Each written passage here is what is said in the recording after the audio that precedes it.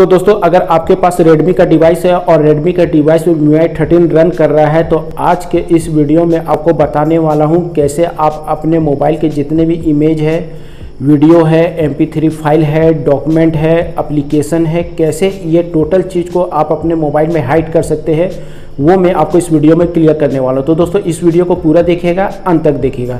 तो चलिए, सबसे पहले मैं आपको यहाँ पे बताने वाला हूँ इमेज और वीडियो को कैसे आप यहाँ पे हाइड कर सकते हैं। तो दोस्तों हाइड करने के लिए सबसे पहले आपको क्या करना है गैलरी में चले जाना है और गैलरी में जाने के बाद देख सकते हैं, यहाँ पर आपको काफ़ी सारे फोल्डर देखने को मिल जाएँगे, जैसे ये वीडियो का फोल्डर यहाँ पर मिल जाता है। स्क्रीनशॉट का फोल्डर यहाँ पे मिल जाता है, पिक्चर का फोल्डर यहाँ पे दिख रहा होगा, आपको डाउनलोड का फोल्डर दिख रहा होगा।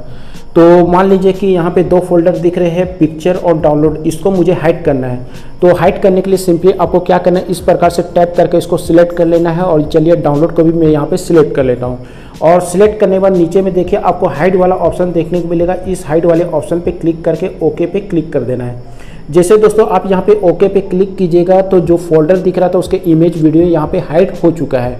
अगर आपको उस इमेज को वापस लाना है तो सिंपली आपको थ्री डॉट पे क्लिक करना है।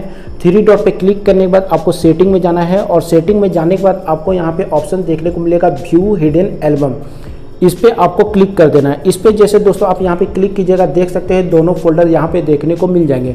अगर आपको यहाँ पे इमेज देखना है, आप यहाँ पे देख सकते हैं। अगर इसको अनहाइड करना है तो अनहाइड करने के लिए दोस्तों यहाँ पे अनहाइड वाला ऑप्शन मिलेगा। सिंपली आप इस पर क्लिक करें और ओके पे क्लिक कर दें और इस पर क्लिक करें और ओके पे क्लिक कर दें। और उसके बाद अगर मैं यहाँ पे बैक होता हूँ तो देख सकते हैं दोनों फोल्डर यहाँ पे वापस आ चुका है। तो इस प्रकार से आप यहाँ पे इमेज और वीडियो को यहाँ पे हाइड कर सकते हैं। चलिए अब यहाँ पे बात करते हैं डॉक्यूमेंट को कैसे हाइड कर सकते हैं एपीके फ़ाइल को कैसे हाइड कर सकते हैं।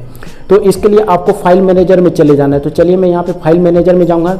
और फ़ाइल मैनेजर में जाने के बाद आप यहाँ पे देख सकते हैं तो जैसे मैं यहाँ पे डाउनलोड वाले पे क्लिक करूँगा तो आप यहाँ पे देख सकते हैं, यहाँ पे डॉक्यूमेंट भी देखने को मिल रहा है, साथ में एपीके फ़ाइल भी देखने को मिल रहा है। तो इसको हाइड करने के लिए सिंपली आपको इस प्रकार से सिलेक्ट कर लेना है। तो चलिए मैं क्या करता हूँ, ये दो फ़ाइल को यहाँ पे सिलेक्ट कर लूँगा, और सिलेक्ट करने के बाद आपको मोर वाले ऑप्शन में जाना है। देख सकते हैं, यहाँ पे जो मोर वाला ऑप्शन मिल रहा है, इस पर आपको क्लिक करना है, और क्लिक करने बाद आपको मेक प्राइवेट वाला ऑप्शन देखने को मिलेगा तो इस मेक प्राइवेट वाले ऑप्शन पे आपको क्लिक कर देना है, और क्लिक करने के बाद आपको मेक प्राइवेट पे क्लिक कर देना और क्लिक करने के बाद आपको सेट कर देना और सेट करने के बाद आपको यहाँ पे एक पासवर्ड जनरेट कर लेना है।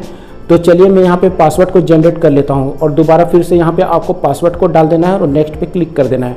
और नेक्स्ट पे क्लिक करने के बाद आपको यहाँ पे नोट नाउ पे क्लिक करना है। देख सकते हैं, ये दोनों फ़ाइल यहाँ से हाइड हो चुका है।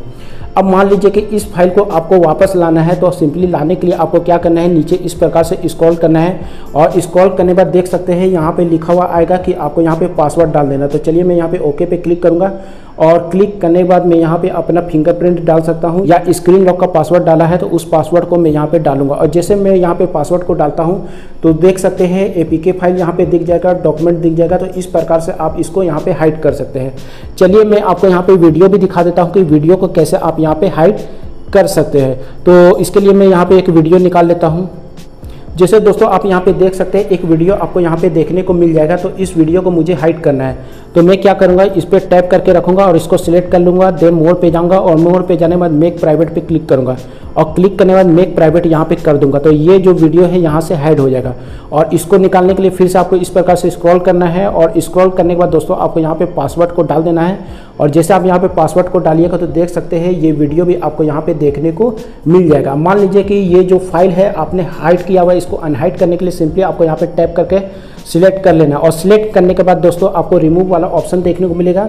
तो इस रिमूव वाले ऑप्शन पे क्लिक कर देना और क्लिक करने के बाद आपको जहाँ पे भी ये डालना है, मान लीजिए मुझे यहाँ पे डालना है इंटरनल पे। इंटरनल पे यहाँ पे क्लिक करूँगा और डी में क्लिक करूँगा और यहाँ पर मैं क्या करता हूँ, इसको पेस्ट कर दूँगा। तो इसके लिए चलिए कैमरे में ही मैं यहाँ पे सिलेक्ट कर लेता हूँ। कैमरे में सिलेक्ट करने के बाद मैं यहाँ पे क्या करूँगा, इसको रिमूव पे क्लिक कर दूँगा। और जैसे यहाँ पे रिमूव पे क्लिक करूँगा तो डी में वो जितने भी फ़ाइल है वो चला जाएगा। तो चलिए मैं आपको यहाँ पे दिखा देता हूँ, जैसे फोल्डर में जाऊँगा और डी में जाऊँगा और कैमरे पे क्लिक करूँगा, देख सकते हैं ये टोटल फ़ाइल यहाँ पे आ चुका है। तो दोस्तों, वीडियो कैसा लगा हो कमेंट करके ज़रूर बताइएगा। वीडियो अच्छा लगे तो चैनल को सब्सक्राइब लाइक और शेयर ज़रूर कर दीजिएगा।